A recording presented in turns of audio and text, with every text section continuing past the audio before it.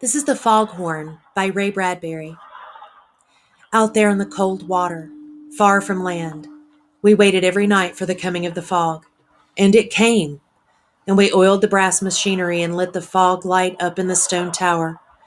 Feeling like two birds in the gray sky, McDunn and I sent the light touching out.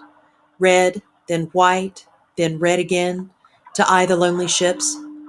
And if they did not see our light, then there was always our voice the great deep cry of our foghorn shuddering through the rags of mist to startle the gulls away, like decks of scattered cards, and make the waves turn high in foam.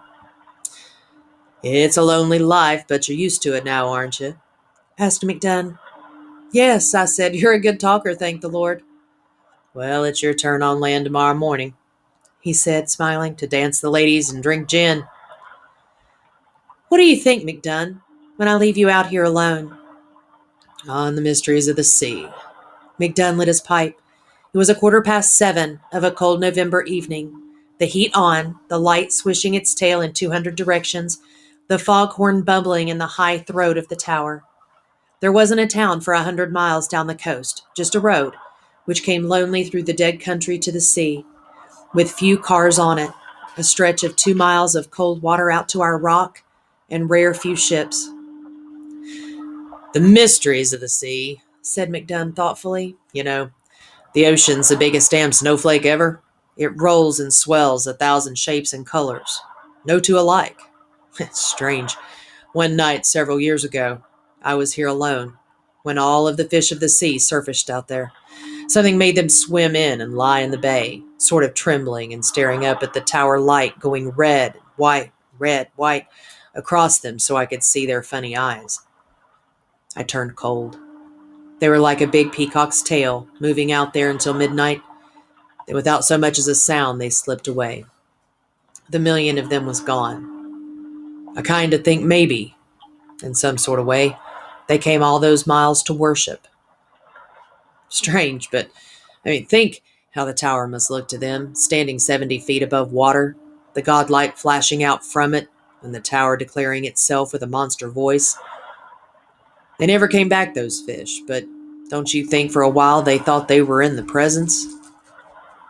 I shivered.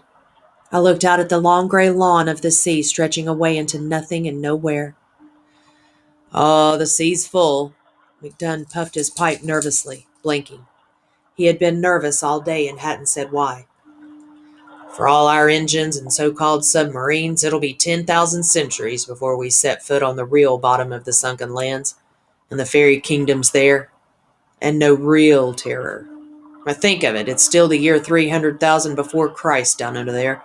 While we've paraded around with trumpets, lopping off each other's countries and heads, they've been living beneath the sea 12 miles deep and cold in a time as old as the beard on a comet.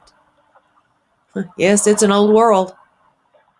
Uh, come on, I got something special I've been saving up to tell you.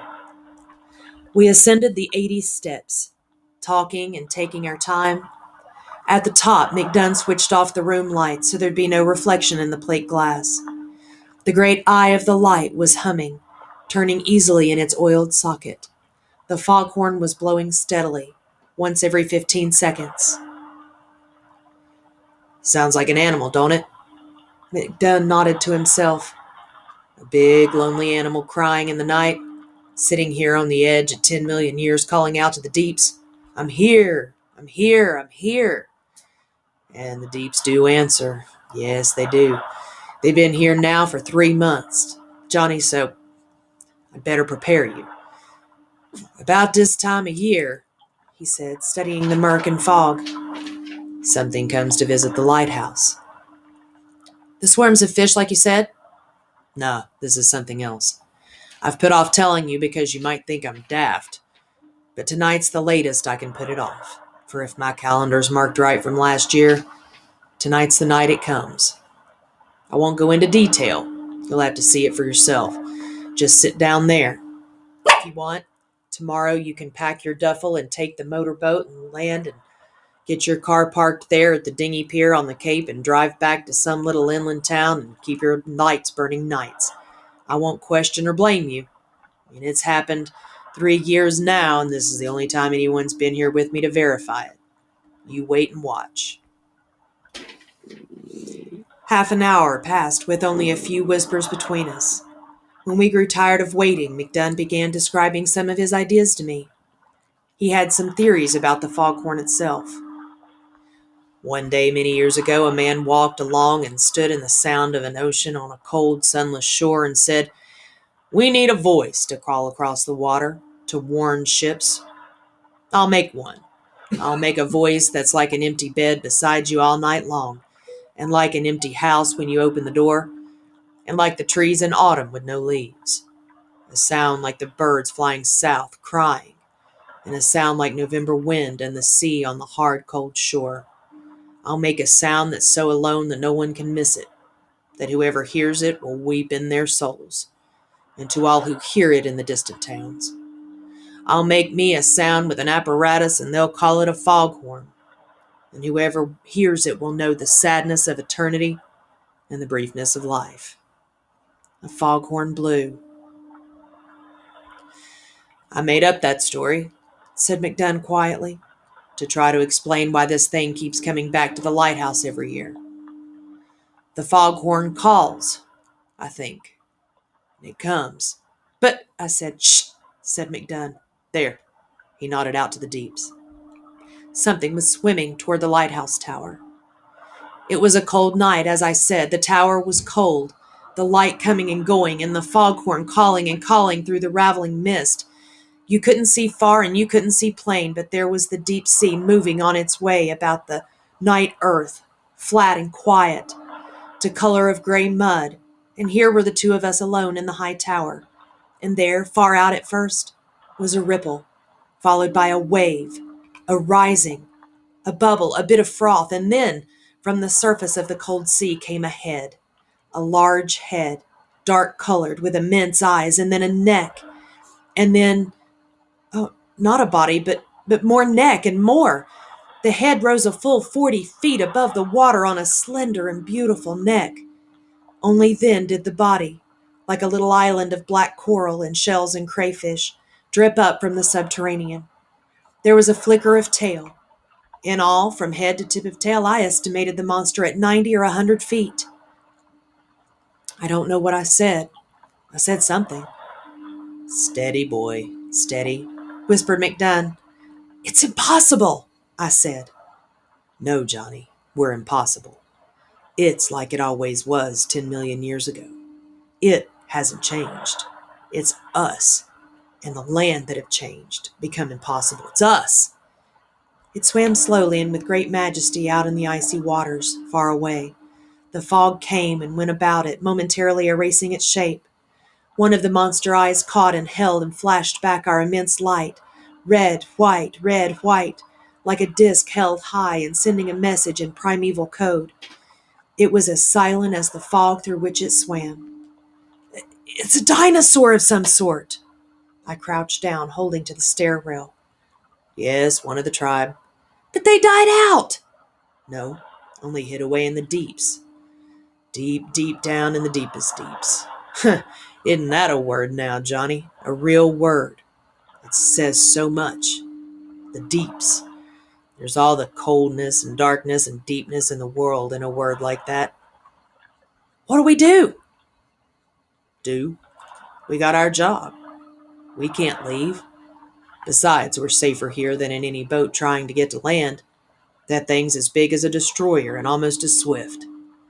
But here, why does it come here? The next moment, I had my answer.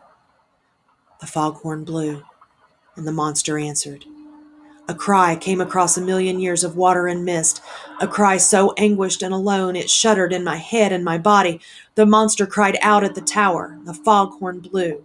The monster roared again, and the foghorn blew. The monster opened its great toothed mouth, and the sound that came from it was the sound of the foghorn itself, lonely and vast and far away.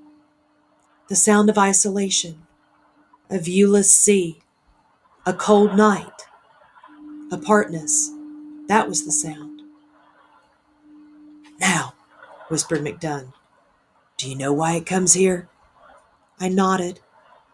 All year long, Johnny, that poor monster, lying far out, a thousand miles at sea and twenty miles deep, maybe, biding its time, perhaps a million years old. This one creature, think of it, waiting a million years.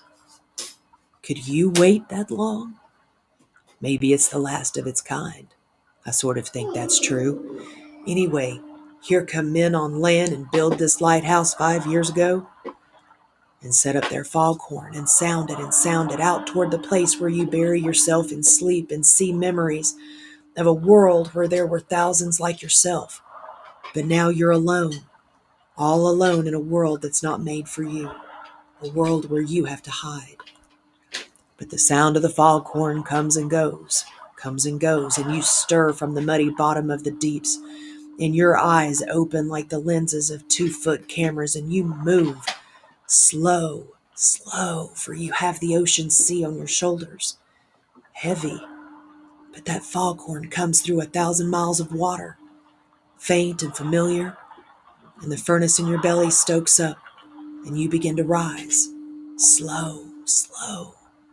You feed yourself on minnows, on rivers of jellyfish, and you rise slow through the autumn months, through September when the fog started, through October with more fog and the horn still calling you on.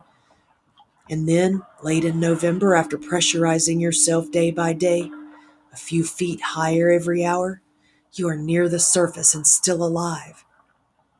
You got to go slow. If you surfaced all at once, you'd explode so it takes you all of three months to surface, then a number of days to swim through the cold waters to the lighthouse.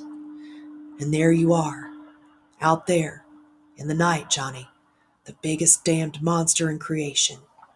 And here's the lighthouse calling to you, with a long neck like your neck, sticking way up out of the water, and a body like your body.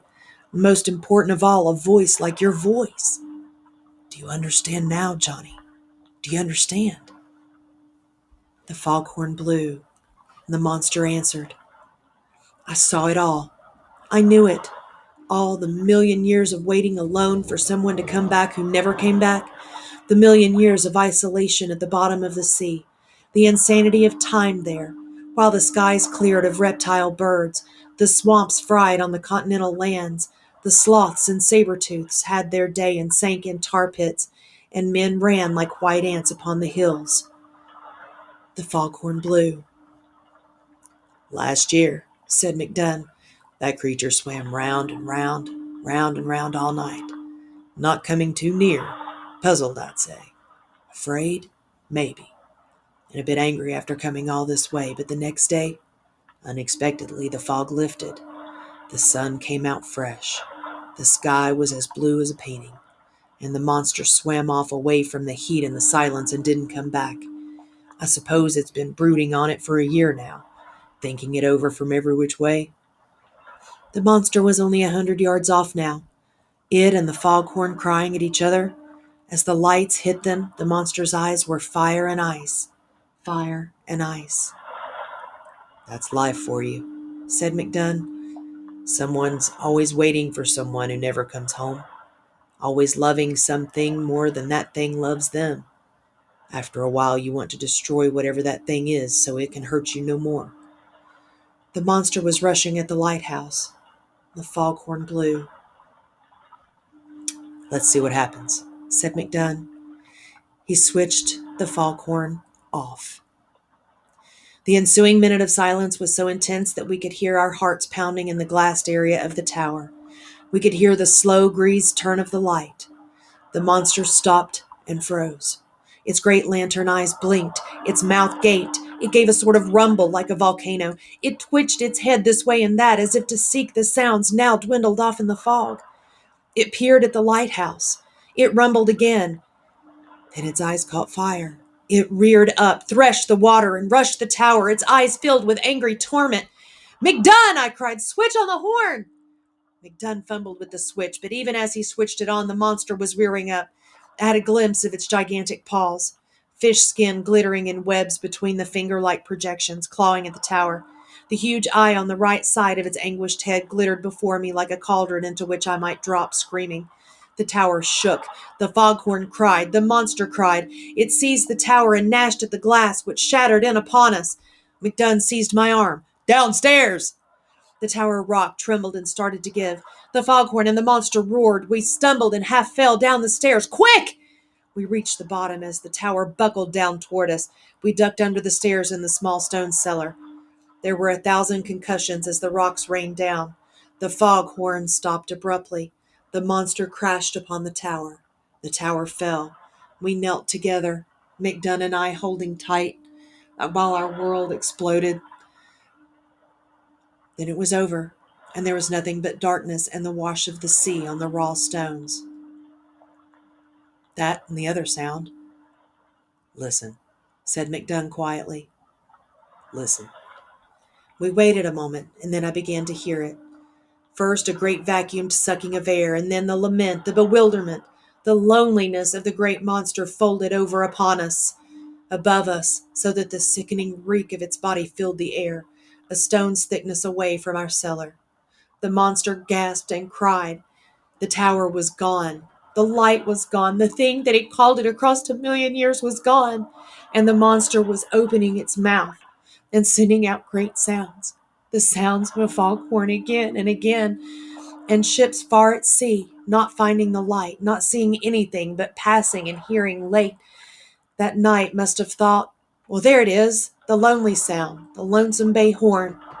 All's well, we've rounded the cape. And so it went from the rest of the night.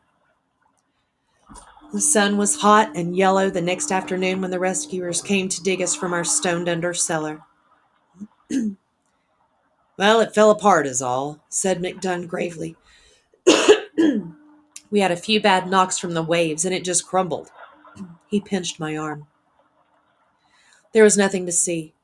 The ocean was calm, the sky blue. The only thing was a great algaic stink from the green matter that covered the fallen tower stones and the, and the shore rocks. Flies buzzed about. The ocean washed empty on the shore. The next year, they built a new lighthouse. But by that time, I had a job in a little town and a good wife and a good small warm house that glowed yellow on autumn nights. The doors locked, the chimney puffing smoke. As for McDunn, he was the master of the new lighthouse, built to his own specifications, out of steel reinforced concrete. Just in case, he said. The new lighthouse was ready in November. I drove down alone one evening late and parked my car and looked across the gray waters and listened to the new horn sounding. Once, twice, three, four times a minute, far out there by itself. The monster? It never came back. It's gone away, said McDunn. It's gone back to the deeps. It's learned you can't love anything too much in this world. It's gone into the deepest deeps to wait another million years. Oh, the poor thing, waiting out there and waiting out there, while man comes and goes on this pitiful little planet, waiting and waiting I sat in my car, listening. I couldn't see the lighthouse or the light standing out on Lonesome Bay. I could only hear the horn. The horn. The horn. It sounded like the monster calling. I sat there, wishing there was something I could say.